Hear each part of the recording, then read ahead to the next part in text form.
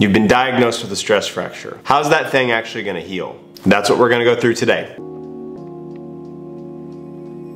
When we develop a bone stress injury, what happens is there's an imbalance between the damage that occurs and our body's ability to remove that damage. Then we begin to experience some pain and eventually we get an image that says that we have a stress fracture. What's the process that our body goes through to heal that stress fracture and what can we do to make sure that we heal it to the best of our abilities? There's two different processes that work together to allow our body to heal a stress fracture. The first one is called targeted remodeling. This happens through two different cells, our osteoblasts and our osteoclasts.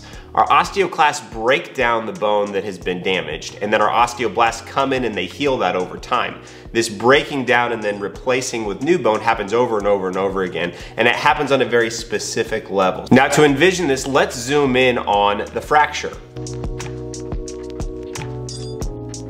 We can envision the osteoblast and osteoclast acting like a small tube of superglue. Very, very precisely, it's going to go in, it's gonna fill in the specific injury site, it's gonna make it super solid, but it's gonna take some time to make sure we don't have superglue all over everything. Now we have a second process that helps with this, and that's called global remodeling. It's a bigger process that's less specific. I want you to imagine I have some putty and I'm gonna fill in this crack.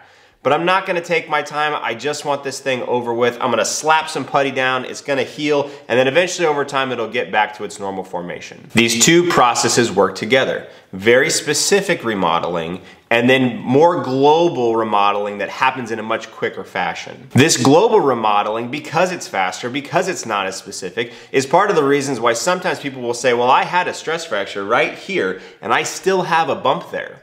That's a normal thing. One of the downsides about global remodeling is that it is affected to a greater degree by our hormones. With many bone stress injuries, hormones are a component of why that injury happened in the first place. So if our hormonal function is not exactly where we want it to be, it could affect how that bone is gonna heal from a global standpoint. All right, so that's the general process for how this happens, but how long is this gonna take? Because all I wanna do is get back to running. We have two types of bone in our body. We have cortical bone and we have cancellous bone. Cortical bone is more present at the end of long bones. It's more sturdy in nature. Cancellous bone or spongy bone is more present in our spine, in our pelvis, and in the proximal aspect of our hips. It's important to designate these types of bone because we get stress fractures in both of these bone types and they heal at different rates. We categorize bone stress injuries into high, medium, and low risk. A big reason why we do that is because different bones are made up of different percentages of cortical and cancellous bone.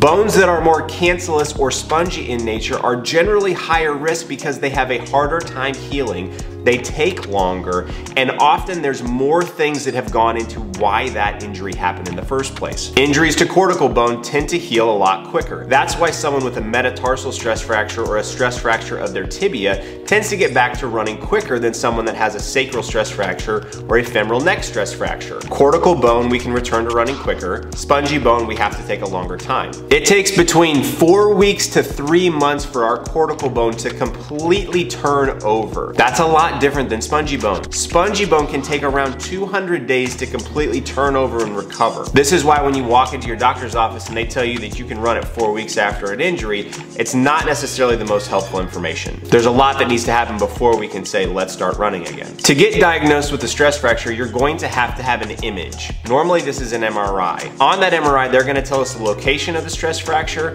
and they're going to grade it. There's a few different ways to grade stress fractures. This table is helpful here. If we have a stress fracture that is a higher grade, it's going to take longer for that bone to heal. If we have a stress fracture that is a lower grade, we're going to be able to return to running quicker. The grade of the image is going to affect when we can return to running. The bone that's affected is going to affect when we can return to running. We see that low risk bone stress injuries tend to return to running at about 13 weeks after an injury. When we look at those high risk sites, we see that it tends to be about 24 weeks to return to running. That's how stress fractures heal and those are the general timeframes to return to running. But there's another big variable that plays into this that I've talked about in my videos before. The athlete triad and the big bigger issue of relative energy deficiency in sport is a common variable in why these happen and a roadblock into getting back into running. When we have low energy availability, we see that it can take days to weeks for us to return that energy status to normal. When we look at our hormone function, we see that it can take weeks to months to restore. Finally, when we look at our bone mineral density, we see that it can take years for that to completely return to normal. Sometimes our bone mineral density is worse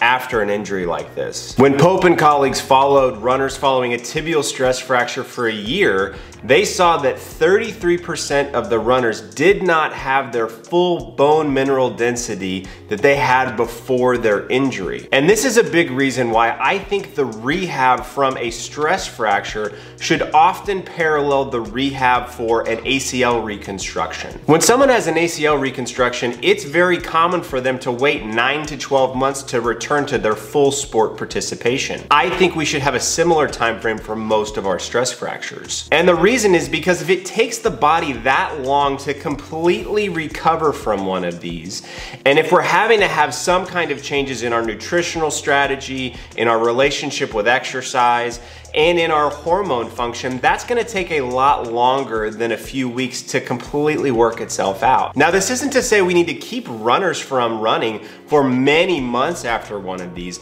It's to say when we do start running, we should start really, really slow. And it should take a very long time for you to return to your previous level of competition. Practically what this means for me, we're not gonna run back-to-back -back days for multiple months when we can run. That 24 hours allows our body a chance to recover from that bout of running and allows us to assess how the session went. Now, once we get to the point that we're running a significant amount, I'm only going to change things in two week intervals. So the first time we can start doing any kind of intensity, we're going to add in strides.